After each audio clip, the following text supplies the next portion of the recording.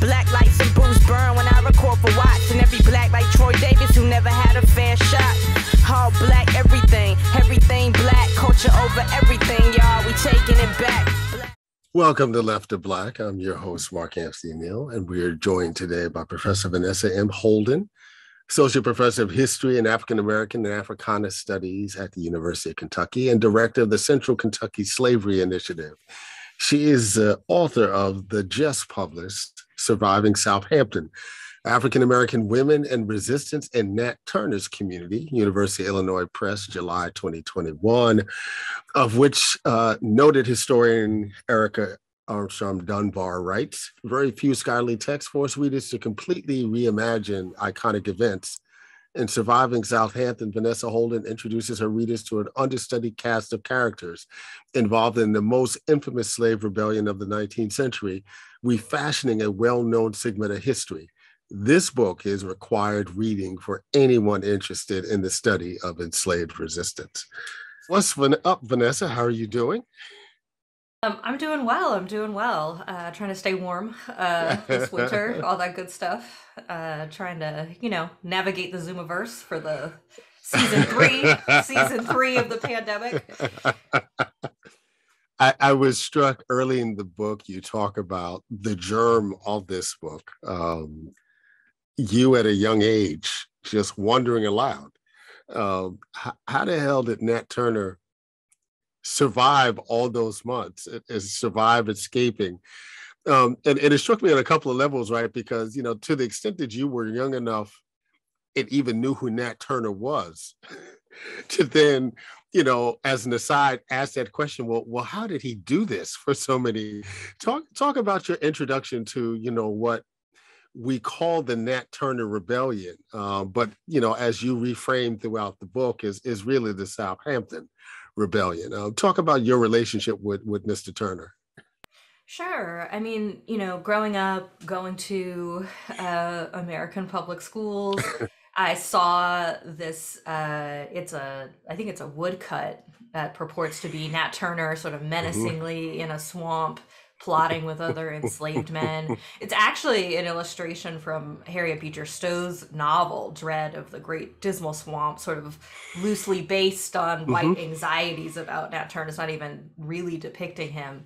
So, like most people, I'd, I'd heard the name Nat Turner. I, I knew that there was a rebellion, but that's really where my mm-hmm. knowledge stopped and that's where people's teaching stopped and nobody was really interested in talking about someone who managed to lead a rebellion that led to the deaths of almost you know 60 white men women and children. Um i got to college and like a lot of undergraduates. I read the confessions of nat turner mm-hmm. uh the uh, historical document not the william styron novel but the historical document. Um i you know sat through a, a lecture about enslaved people. And you know as as a black woman myself it made no sense to me that somehow a small group of black men launched america's most famous yeah. slave rebellion yeah. and somehow no black women knew anything about it and were completely in the dark that anything was had just didn't make any sense you know on a on a kind of gut level that that was even possible um, and when I got to the part, you know, he talks in his confessions about hiding out in these dugout caves, mm-hmm. actually pretty close to where he was enslaved. And I thought, you know, this man, he talks a little bit about being able to steal food, but he's the most wanted man in Virginia. He's the most wanted man in America. He can't just you know, take the run into somebody's he could, yeah, kitchen, he could right. once take. and so in my head, I was like, how is he eating? And this man is missing from the end of August through the end of October 1830. How is he eating? Right? He's not living on the roots and berries of the forest at that time of year in the swamps of Southampton. um, and I thought, you know, okay, I get it. He's he's silent about this for obvious reasons. Uh, in this uh, in this confession, he doesn't name a single person in that confession who wasn't already uh, in jail uh, convicted, some had already been executed, right? So he's not naming new names. Uh, and I, you know, I went down this path. And as I graduated college, uh, Stephanie Camp's book about women and everyday resistance came out. And what one of the things that that her book opened up for me was the ways that African American women were integral to the sort of daily mm-hmm. practice of resistance. That mm-hmm. Black culture is resistive culture. That there are daily practices that range from basic survival, you know, basic mm-hmm. survival right. considerations, right. all the way to all right, we're burning this barn down. All right, we're gonna help hide this person who just showed up at my cabin door. All right, that's it. Our only option is to go to the swamps. Um, and I said, you know, if women are, are that embedded in what is happening every day to resist slavery, there's no way that men who launch a slave rebellion aren't counting on that. Or, you know, they're, they're not already familiar with that network and right. they're not counting on it. Right. Expecting um, it, right. Expecting it, right? right. And so when I started looking for women, surprise, surprise, uh, Black women are the majority of women in Southampton. They are the women of Southampton County. They're everywhere, surprise, surprise. Uh, and they're everywhere that the rebellion touches. Um, so, you know, what started as this kind of hunch from my own my own knowledge of the the women who raised me on both sides of my family, uh, the ways that Black women are integral to community survival in the mm. contemporary period, this kind of hunch that this man is not out in the swamps eating. he can't cook, he can't light a fire, right? Like, like there's just some practical considerations. Right. You know, he can't light a fire if he's hiding out. That doesn't make any sense. Um, right. That, you know, oh, look, and his cave is like not so far from where his wife was probably enslaved. Uh, okay, you're right. I, am not going to find the smoking gun document that says it was these women right. who were feeding him, but I can find all these other things around it.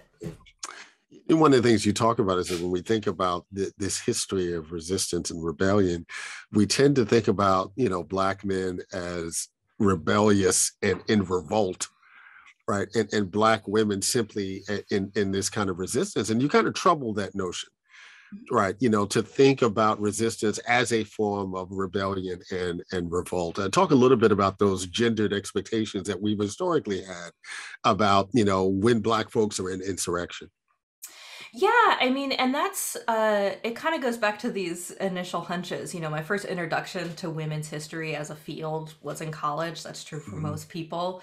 Uh and another thing that really just didn't make a whole lot of sense to me um, is that you know only men had a stake in violent yeah. rebellion black women under slavery overwhelmingly did exactly the same labor as men um, were expected to meet the same quotas in the fields as men so how is it that on the one hand enslavers see black women as at least in a laboring capacity the equals of mm. men but mm-hmm. then when it comes to slave rebellion suddenly women are, are too delicate to have been involved um, are too you know they're not they would never be violent certainly women would never be violent um, and i thought you know this this also doesn't make a whole lot of sense um, that doesn't that doesn't really work out let me look into what these women are doing day to day on these farms, what they're doing day to day to connect laboring spaces. Um, and it it turns out uh, that some of the ways that enslavers really erase women's contributions have way more to do with their investment in slavery as a system than the reality of black women's capabilities. Um, and it's true as far as we know uh, Nat Turner and only a small group of men met over the course of 1831 to plot a violent revolt. Um, but we don't we don't know uh, who else they were counting on when they mm, mm-hmm. arrived at individual farms and plantations. Um, and women, uh, you know, they get this. Enslaved women are often seen as the less mobile gender. Mm-hmm. That black mm-hmm. men sometimes not really in Southampton County, but sometimes they had trades open to them. They were wagoners, they were watermen in Virginia. That travel and movement for black men was way more possible and not really for women. But it turns out within these small farms and plantations, black women were often filling labor gaps where they were needed. So they're working in the kitchen, but if they need to bring in the harvest, they're out there. So there's a work reason, work related reason for them to be just about anywhere. That men, there's no reason for them to be in a plantation yard during the day. They need, right. they, there's right. one place they right. should be.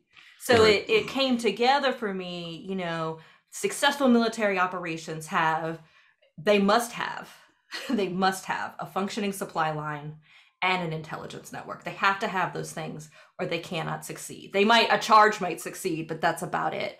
And I said, here it is. Women are working in these central hubs of information. They don't need to be out in the woods, right? They need to be in the positions where they have the most access. I mean, that, that kind of cracked that open uh, for me that ooh, these are actually like companionate uh, sort of like spectrums of resistance and rebellion. Oh. And women are playing these particular roles and passing on significant information that men must have, or they're yeah. not going to be successful. You know, you mentioned the intelligence piece, and, that, and, that's one of the things that struck me, you know, reading through the book, uh, the duality of Black women's experiences in that they knew the built environment of the kitchen right of of the backyard of the grounds before the house all these kinds of things. But because they also worked in the fields they also understood the natural environment right? So they had a sense of both intelligence about all these kind of environments that men didn't have right? And and you know you tell the story of the the, the planter who's trying to protect his house and keep focus out and get his wife out and and and you know the black woman is waiting in the kitchen for her right? You oh, know yeah. because because she knew where she could hide right you know in that particular space that even the husband right the uh, the planter the owner wouldn't have known right those kinds of that kind of intelligence. Yeah i mean she knew that space between the kitchen and the back like she knew that space very well because she probably traveled it all the time right. right? Right and if that woman was going to escape that's her escape route and lucy was there to catch her right? But there's another enslaved person who comes along, and I, you know, this image of this kind of tug of war with this female enslaver is really vivid in my mind, right? Because the the sort of motivation of the person, the enslaver who's trying to pull this woman away to safety, um, you know, if she hadn't won out in that tug of war, Lucy probably wouldn't have been the only woman executed. Uh, right. She probably would have would have lived. Uh, right. And there's that too that there are a number of places that we we cannot know at least in the in the bounds of the discipline of history we we can't know with those methods right. how directly involved many women were. Um, we just have sort of you know dead bodies on the kitchen floor that this woman's stepping over to cook dinner we gotta just kind of gotta go with it while she's testifying about it. Talk a little bit about Southampton. What was it about Southampton as a region, um, as a natural environment, that really creates the context for this rebellion? So Southampton County, it's right on the border with North Carolina. Uh, it's an area of Virginia called the South Side because it's south mm. of the James River. Uh, it has a river, the Nottoway River, that's named for the indigenous people who originally mm. inhabited the area that cuts through it. Um, and it's also pretty unique in Virginia because it it sits atop this soil band that actually wraps through some of the most fertile cotton land in the deep south up through Georgia and the Carolinas. And there's just a teeny tiny bit of this sandy loam that is in Virginia and it basically is in the southern side of Southampton County. Right. It's one of the few places in Virginia that's growing and producing short staple upland cotton. Um, okay. That's not a Virginia crop typically. Right. Uh, so Southampton County, you know, it it is in fact, uh, you know, losing enslaved, uh, particularly adolescents, into the internal slave trade. At the same time that it kind of has a taste of this cotton south slavery version of slavery that's booming um, in the 1830s, and there's a way that Southampton County for a lot of Southerners just feels like, and every South, because so much of the South in the 1830s looks a lot like Southampton County. That it's it's not yet giant plantations. It's actually small to medium sized farms. Mm-hmm. A few people who own a lot of land and a lot of enslaved people. The the white people on the south side of the county um, many of them are related to each other, uh, and the historian uh, David F. Allmendinger does a lot of tracing their property records and the ways that they're really using enslaved families as financial products to kind of they're actually just moving it the same enslaved families in between small parcels of land to kind of bolster their families right. prospects right. so african americans are acutely experiencing in the county a huge shift that for Virginia, a lot of Virginia counties are just experiencing an outflow of enslaved mm-hmm. people. Mm-hmm. But they are experiencing in the 1830s the shift to to using enslaved people pretty blatantly as financial products. They are very aware that slavery is here to stay. It is not dying out, and that these white families are going to use it um, and use them as movable property, not just farm labor. Uh, the other thing about Southampton County is that it sort of borders what was then Nansemond County. That county doesn't exist anymore, but that's where the Great Dismal Swamp is. And there had been a, a, much longer tradition of marronage in the Great Dismal Swamp. Um, WPA narratives taken down in the 1930s from that area of Virginia talk about the swamp people and right. sort of t- sort of tenuous connections to folks who uh, now we have archaeological evidence really did create right. whole communities right. deep in the swamp. Um, there's also an indigenous presence in Southampton County. Uh, their descendant communities now now prefer the name either Nottoway or Cheroenhaka Nottoway. I leave it to them to decide how they'd like to be referred to, but um, there is a parcel of Indian land that uh, free people of color who at the time were also indigenous, um, that term covered both people of African descent, and they're there. So there's sort of this interesting uh, mix of a bunch of kinds of Souths in mm, mm, mm. That allow for uh, just enough isolation, right? for people to think that oh maybe we're we're we're not like Richmond, we're not like Portsmouth, we're we're not prey to these outside influences. Just swampy enough for there to be good hiding places, mm-hmm. just mm-hmm. enough cotton land for enough families to be rooted in the region because folks are less likely to sell if they think they can make cotton money, right? So it's sort of this kind of perfect storm. And a lot of white Southerners in other regions realize just how much this actually just looks like where they live. Um, and that's probably the more terrifying part that this really could just be anywhere. Um, and it's just far enough that the state militia isn't going to get to you. You know, you yeah. the, the white yeah. the white power hierarchy might win, but a lot of people got got before yeah. before the militia showed up, right? So there's that that piece of it too.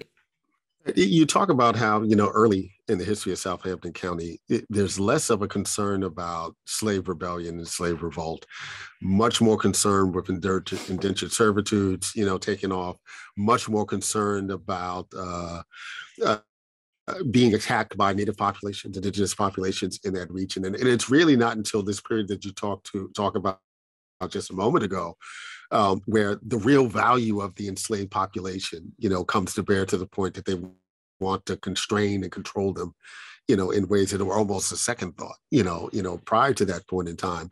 You begin the book talking about these geographies of surveillance and control. Talk a little bit about how these ge- geographies map onto this new economic reality, you know, in, in the early 19th century. I mean, throughout the book, I I use place as a source, um, and I you know Southampton County is an older county in Virginia. Uh, it's very much uh, relate the people who incur on native lands initially are very related to those early generations of Europeans in in Virginia, and they bring with them um, a, a sense that you know this whole tobacco economy thing could go either way. And it doesn't mm. necessarily make sense to constrain Black people's mobility. Um, by the late 18th century, uh, especially after the American Revolution, right? What was once the frontier in Virginia is is now you know solidly in the middle of the Right. state, uh, and and they're much more concerned about hanging on to valuable human property. Interestingly, a visage of that indentured servitude sticks around in free people of colors uh, labor regimes that, that they end up often on year-long labor contracts. And then black free black children are indentured uh, often to white landowners. So they're still engaging in some ways in this kind of hybrid system where they can afford to hold a few enslaved people but then they'll kind of supplement that labor with free labor. Um, and there's a, a sort of a cat and mouse game here, right? Where they're going to continue to send out patrols, and black people are going to continue to evade patrols and meet outside of working hours anyway. And everybody kind of knows that that's it's not possible to always Right. control every movement, right? And it's not even, as I point out in the book, really that hard to know when patrols are going to go out. It's not actually that hard to thwart them. Um, so these geographies are really about the working day. Yeah. And then the same spaces, right, that during the working day are sites of labor, are sites of uh, abuse and violence, right, can also be sites Right. of resistance at the exact same time sometimes. Um, are sites of community making, home, intimacy, uh, deep, you know, deep love for black children. Um, I talk a lot about kitchens as these nerve centers of these households. And, you know, I, I use an example of uh, one WPA narrator remembering from her childhood, her mother just straight up talking to a coachman about when the patrols were going out Yeah. next to her white enslaver because they spoke in code you know, like as a kid, right? Like, so this white woman is like surveilling her work and making sure she finishes and telling her the best way to, you know, cut the pie crust or whatever.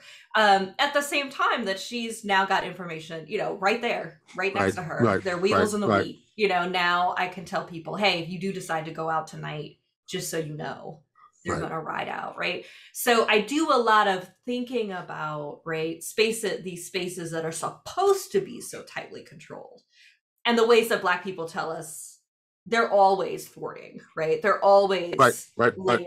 yeah resistance in those spaces Let me ask you a, a philosophical question about choosing this study, this the Southampton Rebellion. You know, I find there's a way that in in the mainstream of Black thought, if you will, particularly in the 20, in the, the mid to late 20th century, with so much of an investment on nonviolent resistance, right? And and and the more the morality that Black resistance is rooted in, it, it's almost if there's been an ambivalence in how folks talk about Nat Turner's rebellion, right? It's it's easier to place that rebellion on this one singular black man who might have been crazy, right? Than to think of him being a byproduct of a community and communities of resistance and rebellion. How did you come to terms and be comfortable with writing about what essentially some people will read as anti-white violence? Mm, mm. well i mean they did murder women yeah, children i talk about an instance where they murder everybody and then remember there's an infant who was so young and Right. didn't even have a name Right, yet and- wasn't and then- christened and then yet go- and then murder right, it and then go um, back, right? uh, because was nobody going to grow up to enslave Right. them Right. um, and uh, I will say that I think you know there's a sort of reticence to to jump into talking about violent resistance. Yep. Um, and I think it, you know, as a student, the thing that gripped me about this story and the thing that drew me in about thinking like, no, no, no, no, no, there's no way that it was just like five dudes who came up with this and then somehow tricked the other 50 dudes into being a part of it. Um, is the the empowerment of knowing that the no no no no no fighting back was an option and it's an option that white people were very aware of mm-hmm. Uh, mm-hmm. because they create a whole legal system, a whole separate legal system to deal with it. Right. Um, and leaning into, you know, more 20th century philosophies of nonviolent passive resistance, whatever, uh, really sort of leads into ideas of African Americans as as really being subjugated by this enslaved right. regime, right? right. right. Um, when we have instance after instance after instance of people deciding, you know, knowing full well this will most likely mean I'm going to die. Um, but here is the point at which this is worth it. Um, yeah. And the voice of Black women is really interesting here because throughout the book, I also talk about Black women who look at the rebellion and mostly are angry at the loss. Like loss of of life loss of their right. sons loss of their families the sale of their their children and kin um, out of the county. Um, and i think that that flip side is is also really important because it's not this sort of like nonsensical violence. Where did this right. even come from? Right Right. You know, people are also making decisions in the moment about the range of ways to participate with really high stakes, like really thinking about their survival and the survival of their community. Um, and and I think we owe enslaved people that nuance. We owe enslaved people that humanity in our coverage of their lives. That you know, human beings, you know, as human beings, that that they both have the capability for this kind of violent pushback and the capability for really shrewd strategic moves yeah. Yeah. even in the moment um, yeah. and I, I think we need to actually talk about violence and revolt more yeah there's, a, there's sort of a, a, myth that oh all those slave rebellions all that stuff happened elsewhere it happened in the caribbean it happened in south america it, it happened somewhere else and it, no, actually, I think just uh, the pre- prevalence of it was heavily suppressed by right. a right. white regime that was interested in not admitting that enslaved people really did want to kill them most of the time. Um, yeah. Yeah. You don't end the book with the rebellion, right? You really talk about the afterlife of the rebellion, surviving South Hampton. Uh, unpack that a little bit for our audience about, at least for you as a scholar, why it was important to tell that aftermath, right? But what that aftermath actually looked like, you know, particularly from the perspective of Black women survivors of, of what had happened prior. So, one of the things that I open the book with uh, comes from a WPA narrative of uh, a man named Alan Crawford who mm-hmm. uh, was born after the rebellion happened. You know, was not uh, was not alive during the rebellion.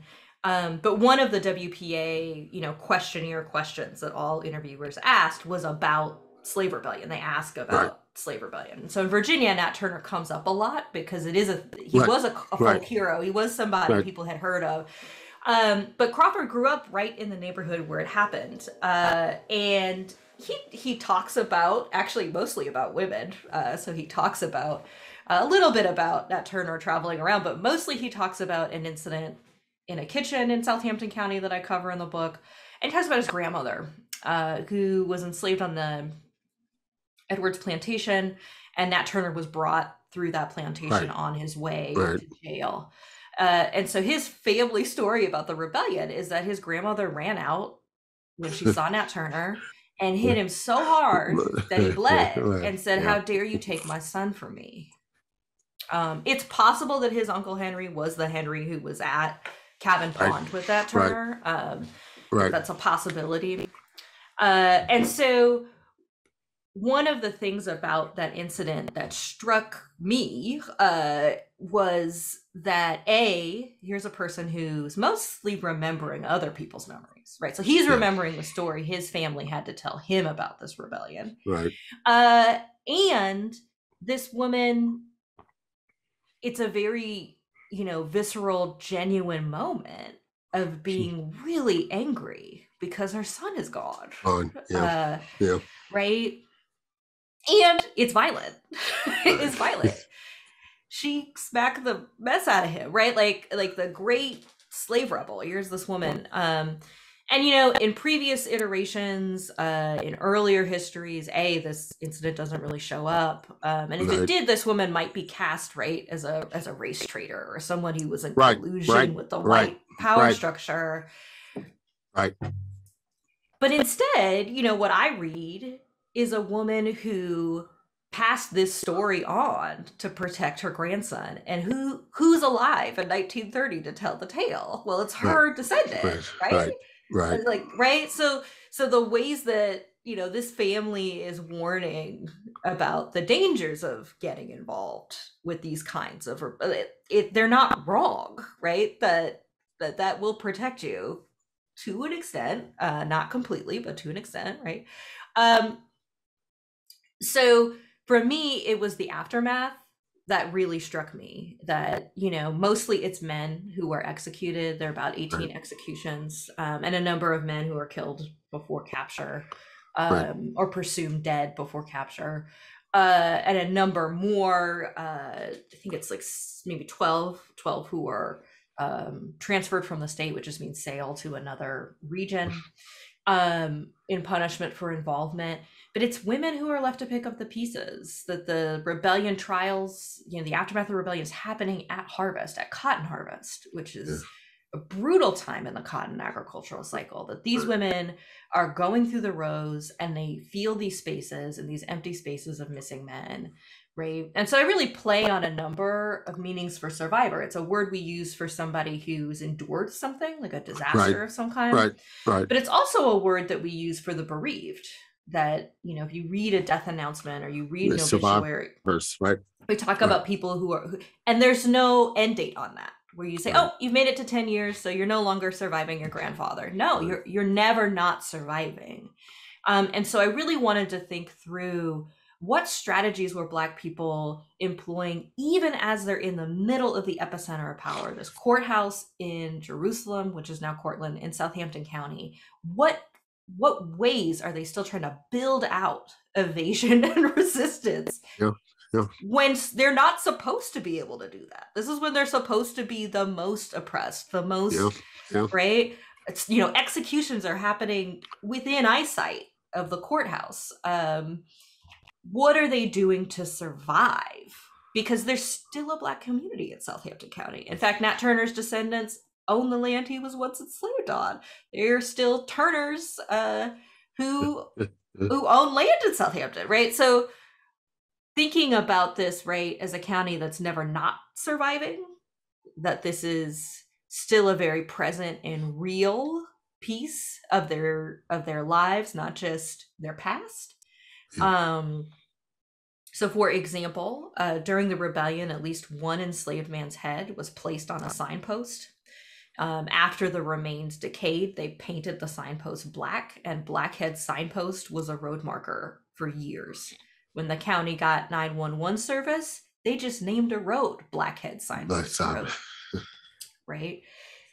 After basically a decade of advocacy in this century, in February of 2021, finally the county changed the name of that road, right? So this isn't even a story that's like so Yeah. far away that, you know, actually, as the book was going to press, they changed the name just in time for me to change the end of the book and say, no, they actually, they really Change did Right. you know, it was Right. black activism that, that got the name changed to Signpost Road, right?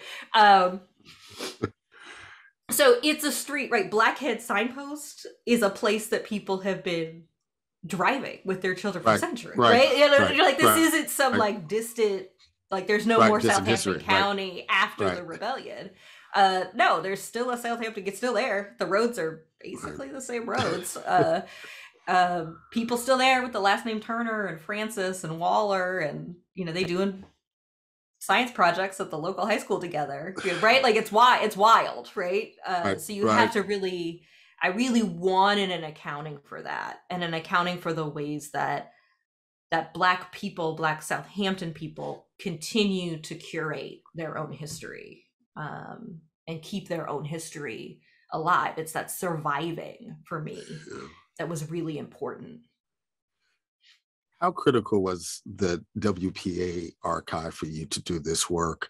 And, and were there any things that you came across in the archive that dramatically shifted how you were thinking about this project as it was developing? So, the thing about the WPA narratives, um, like all historical sources, they're fraught. Every single source is fraught. The court records that I looked at that are produced, you know, you know, produced by a white power structure, invested in making this like not such a big deal uh right, right? um those are fraught uh turner's jailhouse confession fraught um so there's no way to not deal with archival sources that there are a lot of voices involved in producing them um i read through them i just read through you know whatever whatever i could find especially paid attention to people who were either raised in Southside Virginia or were right. in Southside Virginia when they got interviewed.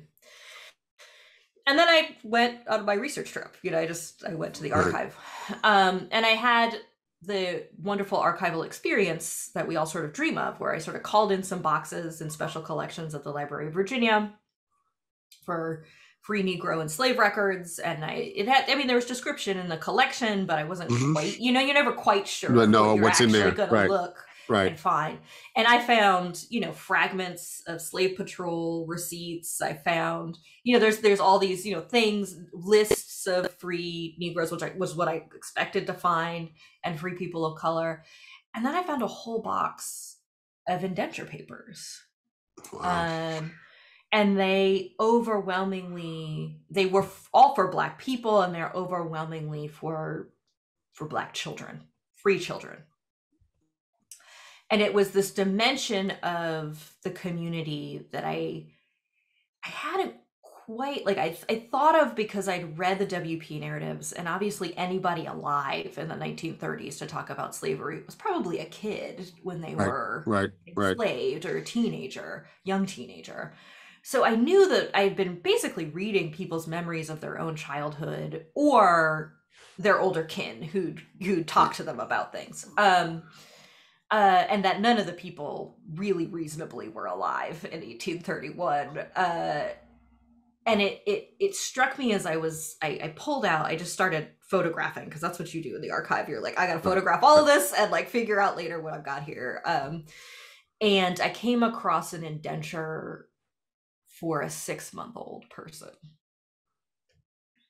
that these uh, ministers of the poor had deemed this baby's parents unfit and were indenturing them. Uh, I can't remember their gender. If they were a girl till she was 18, if they were a boy until he was 21. Um, and I I photographed the whole box and then I put it away. put it away. Oh. And I couldn't write that chapter in the dissertation version of this project. Um, right. I had a, my goddaughter had just been born. Like I couldn't do it. I couldn't do it. Um, and so I did not expect that I would write about Black children in this book. Um, but as the more I looked at women's lives, the more I looked at the sources available, the more I realized that even if, you know, even if I hadn't thought that Black children were going to be this fertile ground, that for Black people, free and enslaved, black children represented they were always thinking generationally yeah. black children yeah. represented the future of slavery yeah. or the future of freedom and that they were underfoot constantly and there was no way not to train them right to resist and survive slavery um and that you know it, it honestly took me it was like a three year process of like okay you got to go back to those and you need to go through these and figure out who they're being indentured to and think about where these free children are in the mix and are they embedded in enslaved communities? Are they embedded in free communities? What's going on here? Um, that that opened up like basically yet another geography of the county because children were used to run messages they were used to get water you know they're also right. super mobile gathering intelligence yes right um and so then i ended up with a full chapter about the way children actually a handful of children are actually convicted of being a part of this right. rebellion right What's next for you, Professor Holden? Uh, so right now, I've taken over the directorship of the Central Kentucky Slavery Initiative, uh, which is an initiative to both tell the Black history of the University of Kentucky um, uh, from its origins well before 1865 uh, through the present day, um, but also to really dig into the significance and importance of slavery in central Kentucky. Um, it's been Kentucky makes a lot of cameo appearances in books about slavery uh, because it was such an epicenter for a hub for the internal right. slave trade. Right. Uh, the trade out of the Commonwealth. Um, but there hasn't been a synthetic work about Kentucky since the 1930s. I think the the book is called like Old Slavery Times in Kentucky. Like that's what we're talking about here. Um, so really, the goal here is to uh, basically build build up a project that both brings students in to tell the history of their own institution and the history of their own state, Right. um, and to make sure that uh, through public projects, uh, we make way more available, particularly to descendant communities, information about enslaved people. So, uh, you know, right now uh, I'm working on a project about the history of bourbon. I'm working on a project about the history of slave sales. I'm working on, you know, there's, there's a lot of irons in the fire that folks Yeah. will be hearing about soon. Um, because pick an industry, there's no way to not touch Right. slavery in the Right. Commonwealth. Uh, horses, music, uh, bourbon, uh, hemp, um, tobacco. There's no way to not talk about enslaved people's contributions. This is Left of Black. We've been talking with Professor Vanessa M. Holden today. She's Associate Professor of History and African American and Africana Studies at the University of Kentucky, where she just mentioned she is Director of the Central Kentucky Slavery Initiative. She is the author of Surviving Southampton African American Women and Resistance in Nat Turner's Community, which Erica Dunbar, Erica Armstrong Dunbar says is required reading for anyone interested in the study of enslaved resistance. Thanks for joining us today, Professor Holden. Happy to be here. Black lights and booze burn when I record for Watts. And every black like Troy Davis who never had a fair shot. All black, everything, everything black. Culture over everything, y'all. We taking it back. Black,